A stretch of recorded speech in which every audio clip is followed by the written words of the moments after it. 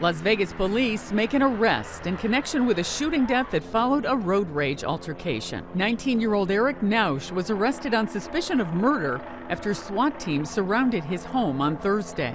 He lives just a block from the home of Tammy Meyers, the woman who was killed. The Suspect has been taken into custody uh, a few minutes ago uh, pursuant to the road rage uh, homicide that occurred. Um, suspect is en route to headquarters uh, to be interviewed. The case generated public sympathy after initial reports that the suspect had followed Tammy Meyers home before she was shot in the head on Thursday last week. Now there is public skepticism after police said Meyers had tried to confront Nowsch and brought along her 22 year old son, who was armed. The victim's husband, Robert Meyers, says his wife knew Nowsch, gave him food and money, and urged him to dress properly.